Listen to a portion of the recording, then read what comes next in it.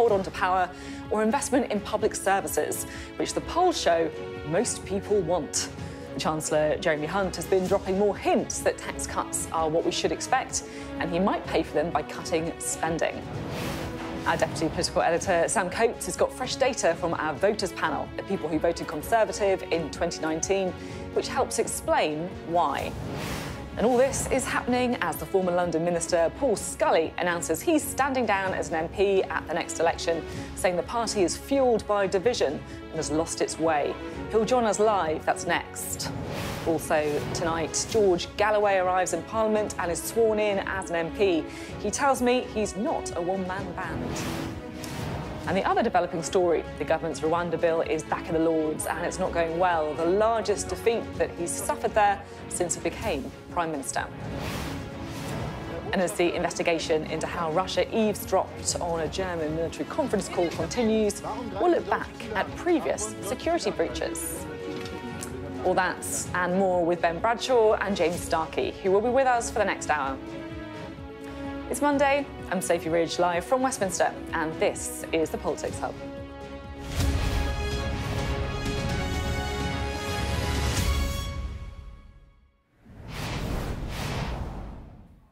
Good evening, and welcome to the Politics Hub, and welcome to Budget Week, a week of endless speculation and then endless analysis. A week of rabbits, hats, red boxes, and red books, where Paul Johnson and Torsten Bell are celebrities, and everyone's waiting for the big moment at the OBR press conference. The expectation is that Jeremy Hunt will cut taxes on Wednesday, and we'll be talking more on the programme about what we think will happen. But I've got another prediction for you today. On Wednesday afternoon, or maybe on Thursday morning, once the dust has settled a bit, a bit we'll have a much better idea about when the election will be. Think about it.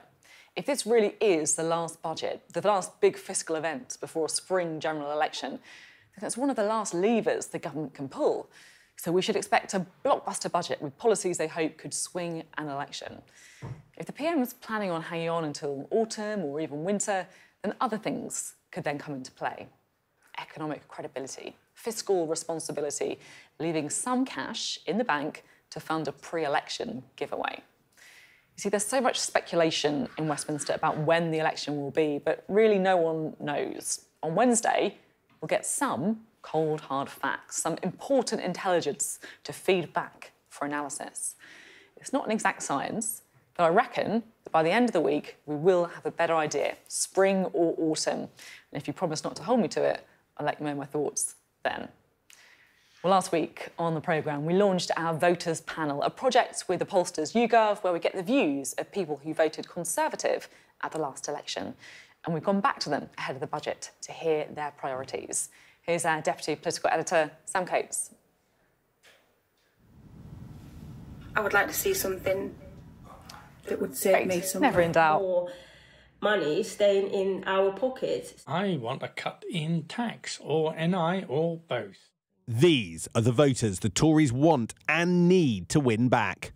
This online community voted Conservative in 2019, now telling Sky News what they want from the budget. So many demands, but one big problem. We have no money, so I'm not really sure that Jeremy Hunt can do very much at all.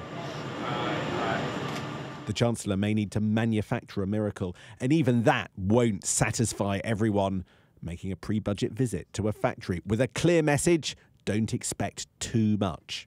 So we do want to move to a lower taxed economy, but we're only going to do so in a way that is responsible um, and recognises that uh, there are things that taxes pay for, uh, that we couldn't cut taxes by borrowing. Uh, we'll do so in a responsible way. Uh, but if we can spend money on public services more efficiently, then uh, that will mean less pressure on taxpayers. It must be quite emotional for you. then. This could be the last chance for the Prime Minister to dig his party out of its political hole. So there will be some tax cuts coming on Wednesday, likely to national insurance, and rows in government over whether to cut public spending to pay that bill. Drilling down, Labour knows there's no money to spend. They're focused now on reform, a tough new stance designed to get more young people working. We will invest in you and help you build a better future with all the chances and choices this brings. But in return for these new opportunities, you will have a responsibility to take them up. Under our Change Labour Party, if you can work, there'll be no option of a life on benefits. Both parties talking up tough choices. Now, the people in the building behind me know that Wednesday's budget needs to be a game changer. Yet, Jeremy Hunt is proposing tax cuts when polls suggest that a majority of the public want public spending increases. Why? Well, Sky News voter panel explains. It's a group of 2019 Tory voters, many of whom have now abandoned the party. But amongst that group, a majority want tax cuts. And when pushed, more say that they want tax cuts over spending rises by a ratio of three to two. The Tories are listening to these voters. I'm sick of paying the government all my wages. It's ridiculous. All they do is waste my money. Throwing more more money into the public sector won't improve the services. It will just encourage even more um, more waste. I think income tax needs to have a cut to it because middle earners are being dragged into that higher tax bracket. Last autumn, Jeremy Hunt's big gamble didn't move people like this. This week, can he win them back without pushing the rest of the country away? Well, our Deputy Political Editor, Sam Coates, joins us now. Sam, at this point, I feel like some of our viewers will be kind of shouting at the TV screen, public services are creaking, debt sky high, why on earth is the government talking about tax cuts? Um, and quite possibly a majority of the public do think that, the polls suggest, as we were saying just there. I think there are a couple of key reasons why the government is likely to do what it's about to do. I mean, the first is a practical one, Sophy. If the Chancellor stands up and announces tax cuts and they're implemented within weeks, then voters probably will notice that. But if the Chancellor stands up and announces a hypothetical path of increased public spending over the next five years, they're probably not going to notice that before the ballot box, uh, before they go to the ballot box. But there's another reason. It's to do with the voters that we were looking at in the voters panel. There is a core group that the Tories want more than anything to try and reunite, which is Boris Johnson's coalition. And at the moment, tax cuts they hope will bind some of them back in. Look at Rob from Chichester. He's one of our panel. I think both parties just seem to offer more of the same more tax, low growth, no long term plan, don't see a future, which is why people like me, who have always voted Conservative, are now seriously considering. Uh, you know, new alternatives like the Reform Party. It's that Reform Party again, isn't it? And Sam, you know, how much agreement is there you know, around the cabinet table amongst Conservative MPs that this is the right path? So I think that there is there are quite a lot of MPs who are quite happy to keep a lid or even lower future public spending, particularly if it means tax cuts, particularly if mean, that means some of them saving their seats. But it's it's not a done deal. Um, I think that there is even some disagreement at the top. Jeremy Hunt has some red lines in this area. He might be prepared to you know cut theoretical future budgets that you know, where you don't actually have to work out the savings. But he'll be very nervous about actually doing something that harms public services further. This is the subject of the row. Will there be public spending reductions on the less growth in public service spending in the years to come after this budget or not? This is the biggest live debate of the budget we'll have to see on Wednesday. Uh, we certainly will. Uh, lots uh, of coverage there on Wednesday as well. Sam, thank you very much indeed. Well, one person I'm interested to get the thoughts on that debate uh, is the uh, MP and the former London Minister Paul Scully, who today became the 59th Conservative MP to announce he's standing down at the next election. Now, Rishi Sunak and Jeremy Hunt may want to restore the Conservatives' reputation as a tax-cutting party, but Mr Scully says the party has lost its way. Let's get a bit more uh, from him now. Thank you for being with us. Pleasure. Firstly, why have you decided to stand down? Look, for me, uh, I have loved doing what I'm doing, but uh, it's, it's, it's difficult at the moment, and I think my seat is eminently winnable, but MPs have a five-year notice period, effectively, and I don't want to sign up for another five years. I'm not going to be part of the long-term solution of regaining that focus long-term, and so better to stand aside and let someone else uh, step in and do that. I mean, some people might say it's not eminently winnable. It's a, you've got a bit of a fight on your hands. oh yeah, well, I, look, I've always treated it as a marginal seat. I mean, it was you guys actually wrote me off in 2015. I remember uh, Joey Jones at the time. I remember Joey Jones. Coming down and said no chance having to do it. But so, so you have to treat it as a marginal. I've always done that. That's why I'm eminently winnable, not definitely winnable. There's a big difference there. Let's talk about the debate we were just discussing at the top of the programme, um, you know, the budget, because you tweeted to say this. You said, fueled by division, the party's lost its way needs to get a clear focus, which I hope the budget can start to provide. Yeah, it's a, it's got to be a signal. You've got to tell a story. It's got to have a, some aspiration behind it. We can't always be in crisis management. We've had really difficult years. Every government that um, around the world has had, uh, uh, you know, difficulties around COVID, around uh, the war in Ukraine. You're not minister anymore. We don't have to give them. No, no. sorry, but I mean, but it, but it's important because actually, what I'm saying is that so lots of governments have been uh, you know, wrestling with the same problems we have. But the problem, but you, we're always looking in, uh, and we're forgetting that actually people will judge us on the election not just for what we're doing, but they want to know what about housing? What about me as a younger person? Not me personally, obviously, uh, as a younger person. What chance do I have? So you've got to be aspirational. You've got to tell a story, a narrative about why we're doing what we're doing, not just crisis management. So, with the budget specifically, if, if there is this row about whether tax cuts are the right thing to do, if it means a reduction in growth for public services. Where do you fall on that? So I think it's right for the Chancellor and the signals that I've been getting from him that actually we should be signalling that we uh, that we are want to cut taxes where we can, um, and that reminding people that we are, uh, in general, a low tax party. Things are difficult as it is. I would look at things like tax thresholds. Again, it's telling a story because otherwise you can sit there, you can't bribe people clearly uh, just ahead of election, say, here's a big tax cut, here you go. And that's why I think things like inheritance tax mm. uh, is a bit of a red herring because uh, although it is a pernicious tax, I would get rid of it, but not now. Not now. Things like tax thresholds, because actually you've got nurses, you've got teachers, public servants that are being dragged into high rate that should never have been there. That was the high rate tax was never designed for them. It was designed for people that were, for those public servants seemed out of reach their earnings. It's those kind of people that we should need to be speaking to. Are you worried about spending on public services as well? I think we always are. I mean, you know, I'm, uh, uh, you know, I see local authorities around the country uh, that are struggling, and at the moment, it's it's more prevalent that uh, it's the the ones that are badly run uh, and the ones that are struggling to run theirs competently that are falling by the wayside. But I was local government minister for a while, and I see what's going to happen in years come, uh, to come if we don't start to correct that. So there's plenty of other things we need to do around public spending. But at the moment, I think just signalling that we're a low tax party and there will be more to come as the econo uh, economy improves, then I think that's right. You want your party to focus, you say, on a wider portion of the electorate. You talked there about young people, for example. And I just want to read your tweet from earlier. You said, if we just focus on the core vote, eventually that core shrinks to nothing. The standard deviation model is true in politics. Most people are in the middle. We can work with the bell curve or become the bell ends. We need to make that decision.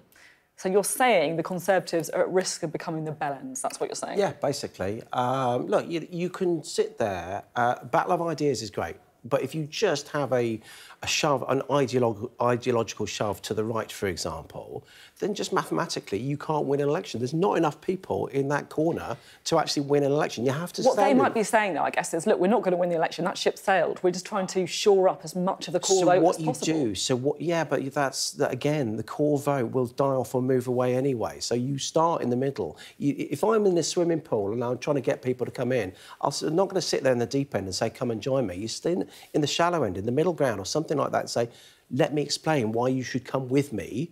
the water's warm over there. Let's go together on that journey. Now, you've had a bit of a bruising time recently, I think it's fair to say, right? Uh, you faced some criticism when you said parts of Tower Hamlets and Birmingham Sparkhill are no-go areas. And then you were you said you were the subject of a bit of a pile-on uh, as a result of that, rather than people asking, what did you mean by that? So I want to ask you, what did you mean by that? Yeah, it's interesting because uh, last time I did your show, Sophy, it was a little while ago, and we talked about the casual racism that I faced yeah. as, uh, as a mixed race uh, youngster. Um, and so it's been really frustrating and uh, and slightly disheartening. But it's you know it's partly my own fault because I used a, a, phrase that actually means a different thing to I meant uh, that I meant to other people. I'm talking about the fact that prejudice and the sort of words that we heard from Lee Anderson last week uh, we're hearing from other people, occur not in a vacuum. It's when people build up their prejudices, sometimes because they feel uncomfortable because of the actions of a minority. It might be a black gang, it might be a white gang if you're a Muslim walking into an area, it might be a Jewish person walking into an area, it could be a gay person holding hands in a particular area. They sometimes judge a majority based on the actions of a minority. And they write off communities as a result of that. And that's where words of division start to come in. So you're wrong then to say you know, Tower Hamlets is a no-go area. Yeah, what I meant no was... go. I mean, that means you can't go there. I mean, yeah, what I meant, yeah, true. exactly. And what I meant was that people are choosing not to go there, or they felt uncomfortable about going there. But as I say, people use that phrase as a, a with a different connotation to the one that I glibly made and unfortunately made. And you, you know, you, we have spoken before, as you said, about casual racism that you've experienced growing up. Are you worried that you know comments like calling parts of the UK no-go areas, that plays into that casual racism. Well, as I say, look, I, as I say, I used the wrong the, the wrong phrase. I should have talked about how um, people are uncomfortable using that. But what's been interesting, uh, you, you write that you know that if I hadn't apologised, I hope that goes some way. But the fact is that many people ignore that, forget about that, and they've just kept on saying, "Tell you what." Why, why, don't we take you to Tower Hamlets? Why don't we take you to Birmingham, into these so-called no-go areas, and speak to people there? Well, by definition, they are uh, already in those no-go areas. Why don't we speak, actually, more informed, uh, informative, speak to other people about why they may feel uncomfortable. Let's tackle those prejudices and get their understanding from them, and then maybe we can change their minds through better education and understanding. Uh, finally, what are you going to do when you step down? Oh, are you going to fill your time? Learn no. to play the piano, travel the world, you're going to earn loads of money? What, what, what's the plan? Look, I can already play, play the piano. I've already been, uh, you know, travelled to many places as MP. I've been really fortunate in that way. I've clearly got to pay the bills, so I've got to find a job. I don't have a plan just yet, but I've been speaking to a few people. Let's see what pans out. OK, thank you very much. Good to have you on the programme today. Paul Scully there. Well, that debate that we've been having on the programme this evening about tax cuts in this week's budget, tax cuts or spending cuts, uh, is sure to feature in tomorrow's newspapers. We'll be taking a first look at the front pages in our press preview and news review. That's with Anna Botting from 10.30 this evening. So joining us tonight as we discuss tomorrow's biggest stories with The Sun's chief political correspondent, Jack Elsom, and the political editor at The Guardian, that's Pippa Crerar. Well, listening to that interview with the outgoing Conservative MP Paul Scully is the Deputy Chair of the Conservative Party, that's James Daly. Good to have you on the programme. Thank you. Uh, there. I mean, lots of people say Paul's completely right. You know, if, you, if you're going to win an election, you have to be in the middle of the bell curve, you have to be in the middle of the swimming, swimming pool, not kind of drowning in the deep end. Well, the first thing I'd like to say is that Paul Scully's a great man. He's, he's somebody who I know very well. I hope he considers me a friend, because I would consider him a friend. And I think that any politician who's motivated by the right principles, however they are described, sometimes, so when we talk about right, left, up, down, which, whichever, I think we miss the point. What we are acting upon is the concerns of our constituents and what we perceive to be the wider interests of the country. So I think this idea of let's just talk about the centre or let's just talk about this or let's just talk about that, the idea is to have policies in place which answer the concerns, so, whichever view of politics you have. I didn't feel like he was talking about, you know, the centre as such, more just like appealing to a wide range of people, because you, you can see, and you know, we'll be looking at it with a bit with our voters panel, it can feel like the Conservatives are focusing on a very small, narrow coalition of voters who voted for Boris Johnson in 2019, and they are the guys that they need to try and get to turn out. And effectively, you know, okay, if you're a young voter, well, you're not going to vote Tory anyway, so let's not bother with you. Well, if I could give, give, an example. So I was a councillor in Bury before I became the MP for Bury North. I've been there for about a decade now. I campaigned all throughout the north of England, all throughout the Midlands. I was one of those politicians who went everywhere and did that. The biggest issue by a million miles on the doorstep, up until the point in 2019 and after, was immigration. And the people who I was speaking to on the doorstep wanted politicians to have a robust policy in respect of immigration. Now, some people would say, well, that's a, a sort of right of centre thing. That's a, a, thing that we perhaps shouldn't be talking about in, in the terms that the debate is at this moment in time.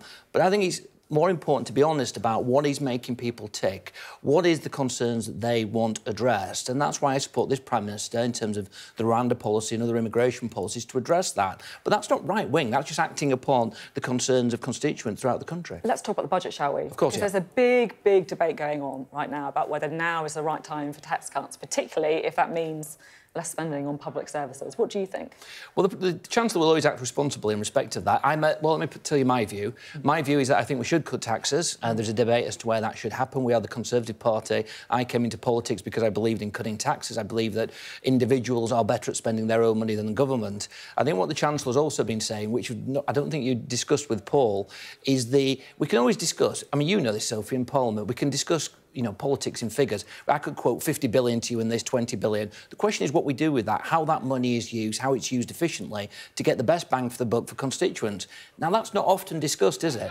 And I think that's what the Chancellor is going to, or one of the things the Chancellor is going to concentrate. We can't just simply talk all the time about pound signs. We have to relate pound signs to outcomes.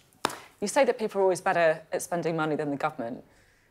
And I get what you're saying, but is that always true? I mean, you know, the government I- spends money on things like roads, on things like schools, Yeah. on things like healthcare. And we're the best one in the world. No, but, but that's, That's taking the point. No, but the, the point that I'm making is that we're always going to spend, the, the, you know, no matter which political persuasion you come from, we're going to spend. Thankfully, you know, we as a government, we're the spending. But we're spending. spend on but we're that is where spending- the debate is, We're isn't it? spending record Are we monies. spending enough on We're spending records amounts of monies on the NHS, on on um, the police, on other very important public services. And what I'm saying is, outside of those important safety nets, making sure that our roads are not, you know, that we're, we're tackling potholes, other things that strike people in the face when they're going out of there. After that, surely it's not outrageous to say, I want people to have more money in their pocket to make their own decisions in terms of what they want to spend it on. I don't want politicians spending that money for them. OK, uh, just finally, because we've got uh, Daniel Kebede of the National Education Union on later. And I know that you did hit the headlines uh, with an interview with an eye uh, recently, or not that recently, a few months ago.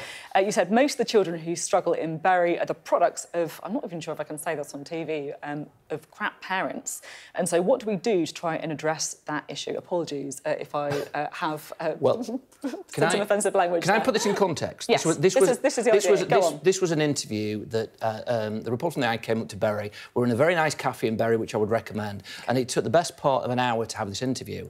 And the lady asked me what motivated me. And I said what motivated me was that I'd been a governor at Hoyle Nursery School in my constituency for well over a decade. I wanted to come into politics and I thought I had something to offer to ensure that those from the most disadvantaged backgrounds you know, to make sure they had the chance to thrive and succeed. We then got into conversation where it was suggested, well, basically everything is the fault of the government. That if you, you know, on an educational journey, this has nothing to do with with, with children who perhaps um, have got or on the, you know, this would. Just, I think it's important to say this wasn't about kids who maybe have autism or have got challenges in their life. This was just about kids on their educational journey. And I said, and I know it might be outrageous to your listeners, that individual parental responsibility is just as important as what the state does in providing education. Now, if, an, if a politician cannot say that individual parental responsibility in supporting their child through their educational journey is not a good thing, then we are in a really, a really strange place, aren't we? And so, you know, perhaps you know, uh, in a, you know, perhaps I would use a different word, having my time again in respect of that. But I ain't going to apologise for what doing what I think is right. My whole political journey is about trying to give people opportunity. And you know, I was a criminal solicitor in Bury for the best part of 20 years. You know, I, I've represented everybody with every challenge that they are going to have in terms of their home life and everything else like that. And so. It's Okay. very important that we concentrate on that. And these topics are not off kilter. No, they're talk not. About, That's so why we're we should- talking about it. So we should talk about agree. that. The, the government is not responsible for everything. Parents and the responsibility they have for their kids is a massive part of outcomes and successes for young people. Uh, absolutely no topic like that off kilter here. Uh, thank you very much uh, indeed. James Daly uh, there. Right, let's bring you up to date, shall we, with what has been going on in the House of Lords because people peers have have been voting tonight on a bumper set of amendments to the Rwanda bill. reason, A total of 50 were put forward by members of the House of Lords, and it is having an extremely bumpy ride. There's been five votes, and get this out of five votes, there have been five defeats for the government. So, pretty clear there that Rishi Sunak is having probably the most difficult time that he's had uh, in the House of Britain Lords trying to get that Rwanda bill through. In many ways, not a big surprise uh, that that should happen. Well, we're joined by our chief political correspondent, Jon Craig, who has the latest. John, how difficult has it been? These are the biggest rebellions uh, that, uh, and biggest government defeats for, since Rishi Sunak became Prime Minister. The significance, I think, tonight is the scale of these defeats. Now, the first two, um, the first, there have been five votes already tonight. Uh, they're continuing on Wednesday. First vote, majority of 102 against the government. Second vote, majority of 102 again. Third vote, majority of 110. Then it slumped to 87, and the last one it was, uh, and then it was uh, uh, a majority of 91 against the government. So big majorities against the government. Um, the biggest since How about this for a bit of a parliamentary trivia? Um, the Duke of Wellington had an amendment to the government's Environment Bill in 2021. Um, that was on uh, pumping sewage into rivers. Uh, Duke of Wellington was it uh, Boris Johnson's Waterloo? Anyway, that, what's significant also, it's the revenge of John Major's cabinet because the rebels tonight have been Ken Clarke, John Gummer, Douglas Hogg, and another one, uh, uh, uh, Lord Tugendhat, that's Tom Tugendhat's uncle, and a 92-year-old hereditary peer called Lord Eccles, who I must admit I'm not sure I've heard of before. But what's going to happen now is more votes on Wednesday. The, goes, the bill then goes back to the Commons on Monday, the 18th of uh, March. Back to the Lords for the ping pong we all love so much on the 19th of March. The government will hope to get it through by Easter and get those flights going. But uh, what they're debating at the moment, actually, you just saw Baroness Lawlor.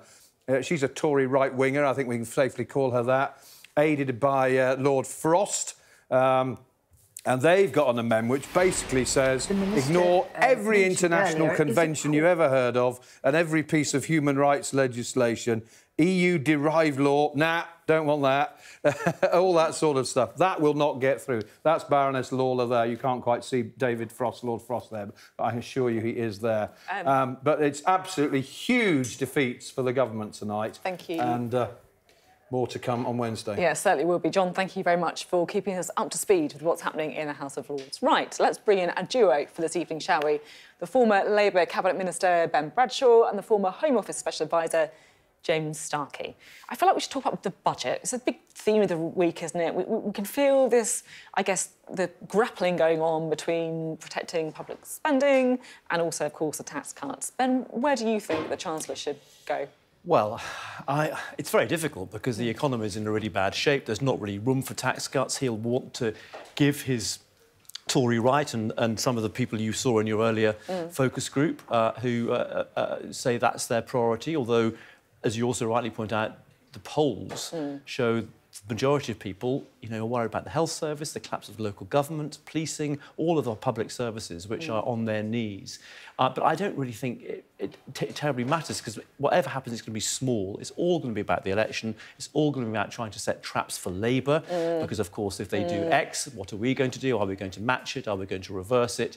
And it's not, it not, won't really signify. I think what really matters is the outcome of the election. I just wish we'd had an election sooner rather than later so we can get on and make some long-term decisions rather than these political kind of gimmicks. Yeah, it does feel like it's been a very political uh, budget indeed. James, where do you fall down on the kind of debate about whether now is the time for tax cuts?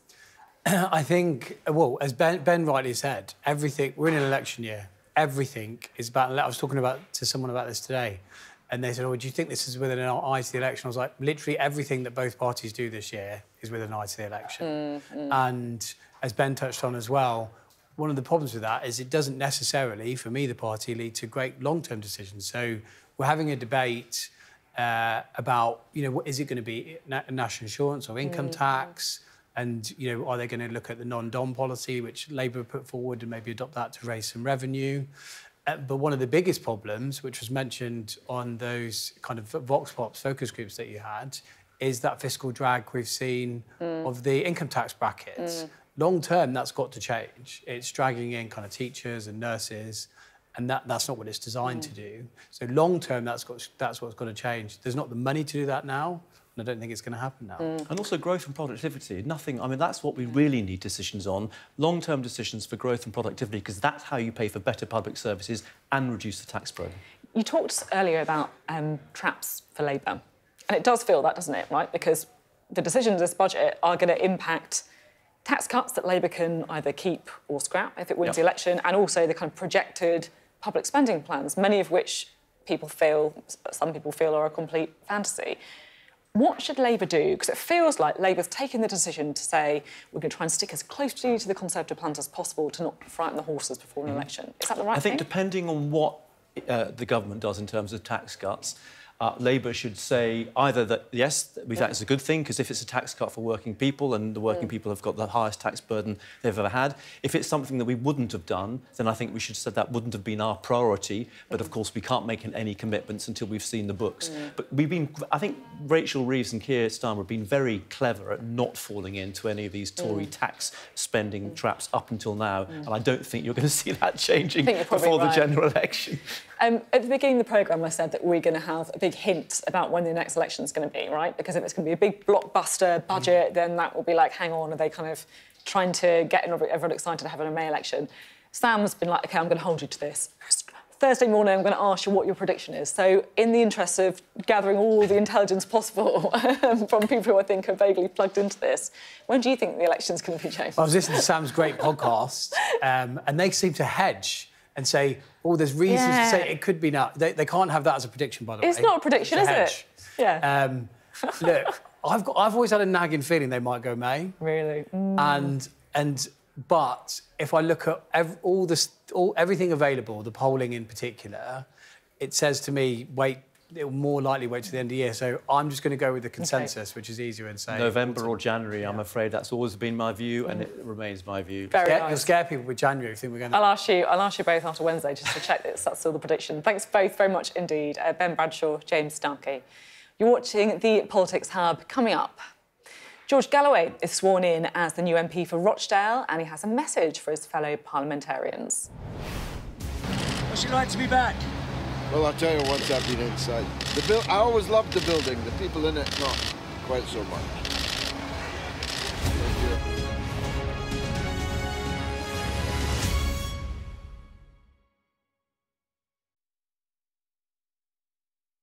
Morning, everybody. Today is all about the economy. The Chancellor could be a real game changer in the general election. Will be the pre-election fireworks. Big set-piece event of Budget Day, of course. Whether it will be enough is the big question. Some may soon be promised a little more money in their pocket as we head towards the election. But will these budget giveaways be enough to gain your vote? Full coverage on Sky News.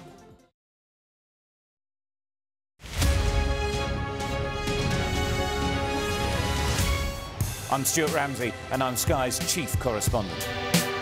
Well, there's a real sense now that people are beginning to expect that this whole airlift is coming to an end and they're really, really desperate.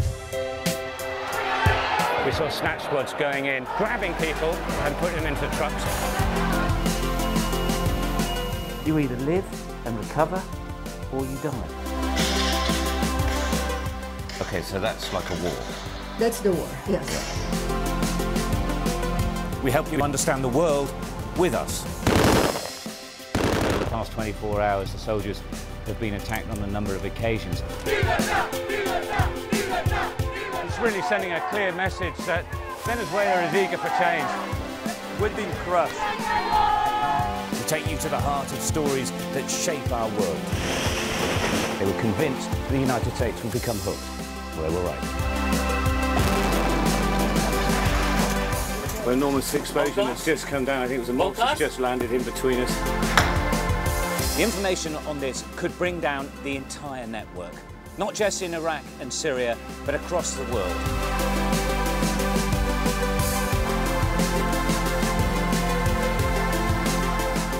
I could throw a withdrawn. It's so, so hot.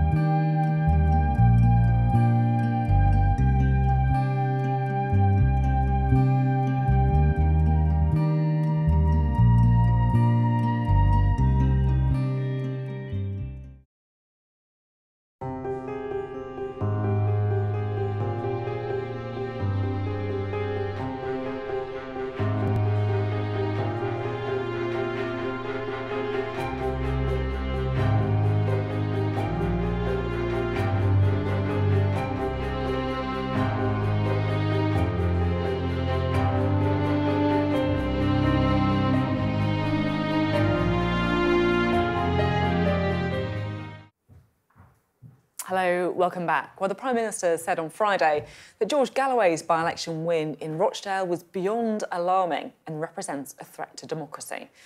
Well, here he is, being sworn in to Parliament. He was accompanied by the Father of the House, Sir Peter Bottomley, and the Alba MP, Neale Hanvey. Afterwards, there was a bit of a media scrum. I was there and I put this question to him. Some people are saying that, look, you're a one man band. Uh, yes, you did very well in the by election, but that was a by election where you were basically in a two horse race and the other person tripped over their own feet with the Labour Party. What difference can you actually make given that you may be chucked out of office at the next election? Well, I've assembled quite a good audience for a one-man band, uh, and I suspect you. I suspect you know that I'm not a one-man band. I suspect that you know that I'm emblematic of a much larger band than a one-man band and it was never a two horse race. The Conservatives and the Labour Party were both crushed in this by election, which not one person has asked me about so far, but is the most significant thing. Well, let's bring in uh, Ben Bradshaw and James Starkie, uh, shall we? I mean, he was scathing about the both Labour and the Conservatives, saying that he were, it was a pathetic result for them in Rochdale, that it was a seismic win for him. I mean, how much do you think we should read into it? In the individual result, I mean, um, I think I mean, it will bring the debate. It will change the debate. He's he's clearly going to capture media mm. attention on a regular basis. It's what he's good at, mm. and so you're not going to be able to escape that that debate. And both parties are going to have to deal with that. We saw the speech, speech, speech from the Prime Minister and Keir will have to deal with that as well. How much, I th- this one man band aspect, he's already said, you know, people can set up under his umbrella, but they won't get funding. Whether, whether it will really impact a wider vote is, is going to be hard to tell. I don't think mm. he or a party of his, whether there's some unhappiness on the issues he's played into, and will that feed into the election? Uh, it's hard to tell right now. Mm.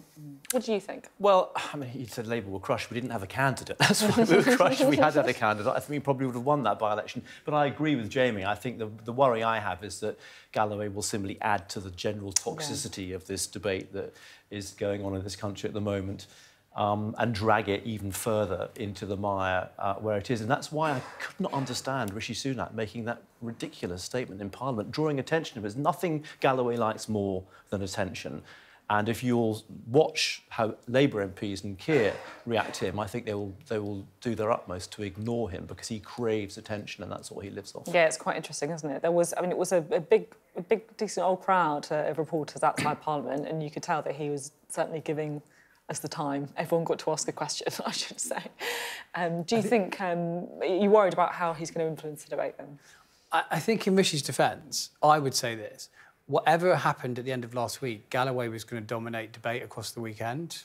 And I think the two main party leaders have got to meet him head on to a degree. And they've got to take take on some of his arguments and debunk them. You, you don't agree, Ben? No, I mean, I've been around a bit longer. I've had my own run ins with George Galloway in the past. I was even uh, made to apologise. It's one of the decisions I regret more than any other by the Labour chief whip for saying that he was a. Um, a mouthpiece for, for Saddam Hussein, which of course you'll remember he was.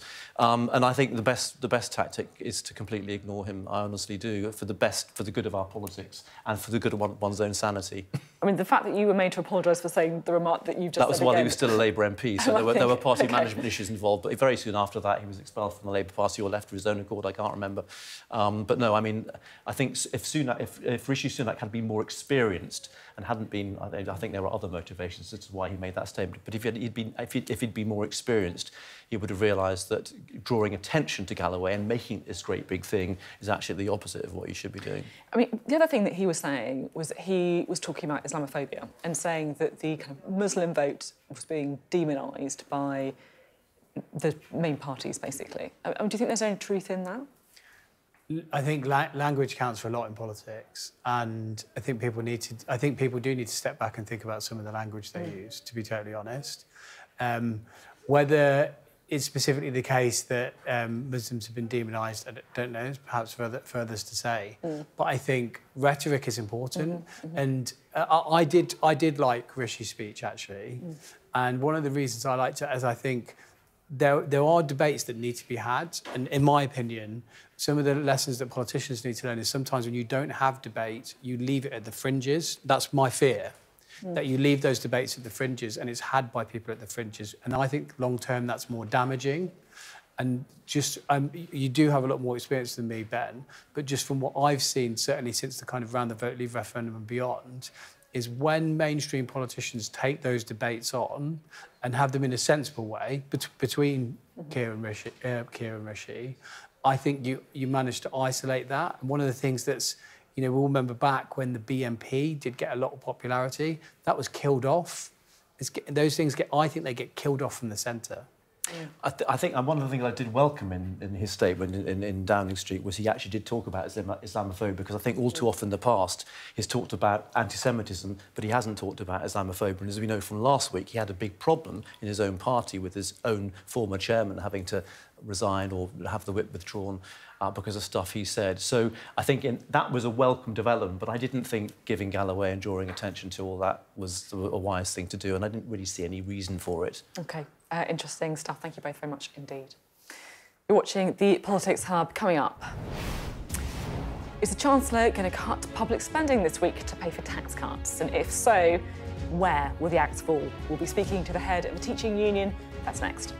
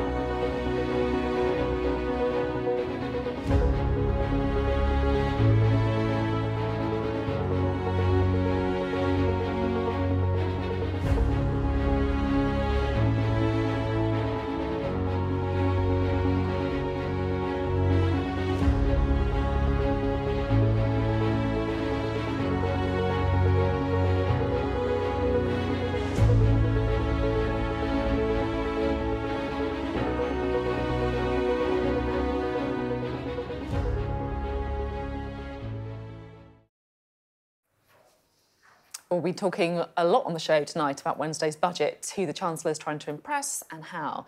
But really, his central dilemma is this how do you cut cap taxes and keep your core vote happy while also positioning yourself as the fiscally responsible Chancellor? Because with debt projected to hit record levels, this is not a time when you can find a couple of billion quid down the back of a sofa. One way to fund tax cuts, of course, is to make cuts to public spending. But what would that mean for public services? Well, with us now is the General Secretary of the National Education Union, that is Daniel Kebede. Thank you so much for being with us. So, what are you hoping to see in the budget? Well, uh, last year, at the Conservative Party conference, Rishi Sunak said that uh, nothing mattered more than education funding, that education was the silver bullet. We haven't seen any evidence of them investing at all at the moment. We wrote to them uh, multiple times asking for investment to fix the school estate, to fix the SEND crisis, to restore school funding levels to 2010. They had the autumn statement. They haven't changed course. We're really hoping for them to change course this week. I mean, I guess what they would say is that they have given schools extra money, £2 billion this year and next year debt is at historic levels, but they are prioritising education. That's what they would say. Our children wouldn't say that, nor would the, our parents or the teachers in schools currently. We literally have schools crumbling around the heads of children due to this government's neglect of education. We have currently record class sizes due to a huge teacher shortage that has been driven by successive pay cuts and rocketing workloads. Uh, teaching's not an attractive profession. The reality is education at the moment is on the brink. We really do need to see some investment. What kind of things are we seeing then in schools? You know, you saying that schools are crumbling around, but what, what, what kind of individual things are you seeing? Well, on masse, we're seeing a million children now taught in class sizes of 31 or more. You know, in the UK, we have class sizes on average seven with seven extra pupils compared to the rest of Europe. I mean, children with special educational needs are not able to access the CAMHS support um, or any other SEND services, really things are really at crisis point now, and the government need to heed that. If the government choose to spend money on tax cuts this week, they say, look, working people need a bit of extra cash at the end of the day. Would you say that's fair enough if public sector services are used to fund it? I think uh, the public are wanting to see investment in public services at the moment. Tax and spend is not as unpopular as uh, this government are making out, according to all polling. Uh, people want to see a functioning NHS. They want to, their children to be taught in properly funded schools uh, that are adequately resourced. And I'm interested to know on your take on Labour uh, as well, uh, because you know I guess the easiest way to free up some cash now is to cut spending in the years ahead, and that might leave a bit of a trap for a Labour government it feels as if Keir Starmer and Rachel Reeves are very worried about deviating too much from the Conservatives' plan so they can be painted as the party of the magic money tree. Mm-hmm. Do you think we're really looking at much difference between the Labour and the Conservatives when it comes to education? I mean, Labour do need to be much more ambitious. There's plenty of things that we can welcome from a Labour government, Ofsted reform, curriculum and assessment reform, but we do need to see a real uh, plan of action for schools in terms of investment, but also in terms of our wider uh, in terms of child poverty, for example, which has rocketed astronomically over the last decade. You know, we need to see an end to things like the two-child benefit cap. We'd like to see things like a rollout of universal free school meals. It's time, actually, that we had a government that viewed children as an investment, an investment in the future rather than an economic burden. It's interesting you say you'd like to see more ambition from Labour. I feel like I know what your view is of Rishi Sunak, forgive me. But um, what, what do you say about Keir Starmer? What's your view on him? I am like many people, uh, hoping for a change in government. Now, Keir Starmer has not given too much away, but I actually believe that he does need to start giving people some hope um, because at the moment uh, it doesn't feel like um, there is much hope in society. Um, earlier on the programme, we spoke to James Daly, uh, who is one of the uh, Conservative Party deputy chairman. Uh, and I said that you were on, so I wanted to kind of bring on some comments that he'd made uh, in an interview with the Iron newspaper. He said this, he said, most of the kids who struggle in Bury are the products of crap parents. And so what do we do to try and address that issue? On the left, it would just be, we'll throw money at this and hope something sticks. But someone like me thinks about this more fundamentally. Do you think he's got a point? I've taught in the northeast of England and in central London. Um, I have never met a parent that does not have aspiration for their child. What I have come across often is parents without the tools to meet those aspirations. There has been, you know, a lack of decent housing, um, you know, uh, resource poverty. This is what drives um, the problems in society, not individualised parents. Okay, uh, notice how you dodged the word there. Mm. Uh, very nicely done. Thank you very much indeed, Daniel Kebede uh, the National Education Union. You're watching the Politics Hub coming up with the news that the Russians intercepted a recording of German military top brass discussing Ukraine We're talking leaks, and whether it's a former president storing sensitive documents in the toilet or a screenshot of a Conservative WhatsApp group sent to our very own Sam Coates, the question is cock up or conspiracy? After the break, we'll let you be the judge. Coming up on the UK tonight at 8 o'clock, we need proper answers, not quick ones. A message for the government from the parents of Nottingham attack victim Grace O'Malley Kumar. I'll be speaking to them after they took their calls for a public inquiry to Westminster. And also, the father of Mia Janin, who took her own life after she was bullied by classmates on social media, will be here in the studio to explain why a ban on smartphones in schools isn't the answer. That's the UK tonight at 8.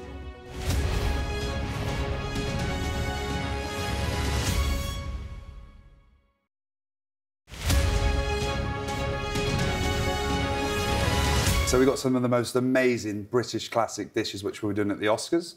So we got a beautiful lobster fish and chips, bit of tartar sauce, and we've even put the classic British Ah, fork, which the. Americans love. Yeah. Naturally. So this is all food for the after party. Yes, so the governor's ball. So they go to the, the actual Oscars, they get their award, and they go up the stairs to the governor's ball, which they'll get these dishes. Okay. We've also got the prawn cocktail roll, which is served in a soft brioche, sort of three biter. Amazing. A little bit of caviar Yeah. for the Oscars. Yeah. So, last of all, we've got the amazing Wagyu roasted Yorkshire pudding, roast beef, creamed horseradish, and watercress. And it is absolutely amazing. So, hopefully, they like it. Oh, I'm sure they will. How do you decide on the menus? Oh, which one should I try first? Can I try? Oh, you can try one, yeah. Uh, probably the prawn cocktail roll to start. Yeah. Amazing. There you go. Thank you. I'm going to have. Do you want some? go for it. Yeah. Do you want a prawn? Yeah, go on then. I'll have a prawn then for you. There you go. So, it's a little bit of Marie Rose sauce. Okay. Keeping it as classic as possible. Thanks. Hopefully, they love it. But Yeah. let's see. So, but I mean, they've got the fancy frocks on and all that sort of stuff. Yeah, I mean, everything had to be taken into consideration. Notice I said the caviar for me. Oh yeah, the big pigs. Yeah, well, why not? Why not? And how many how many covers are you doing? Like, what's the scale of this? It oh, is actually enormous. It's around two thousand people, and you there's like a huge, huge queue. And I'm looking, I'm like, surely that's not the queue for this stall, because there's like ten stands within this governor's ball. It's like ballroom. Um, and there's just queues and queues of people. But we were quite popular Yeah. because we were doing the British food, and the Americans love fish and chips and all that kind of thing. So it was super, super, super popular. Um, couldn't keep up, obviously, but you know, carried on, carried on. There's only three chefs on that front desk, so. Which big names made it to your stall? That's yeah. Yeah, great question. Wow, there were so many amazing people, and I mean, for me, Brendan Fraser, obviously, he had won the Oscar Oh, yeah. last year, and he was so lovely. Lady Gaga was amazing. This is the Wagyu, best one. isn't it? Yeah, this It- is the Wagyu beef. Yeah. And we roast the Yorkshire pudding in a little bit of Wagyu fat, so it gives it that sort of shine and crunch. It's a lot more sort of luxurious than normal. but Right. it's delicious. And do they come back for more? Do you have to say you've already had yours? They do, and some people will be asking, can I have extra beef and being cheeky, but Mm. that's all good. Hello and welcome back to the Politics Hub.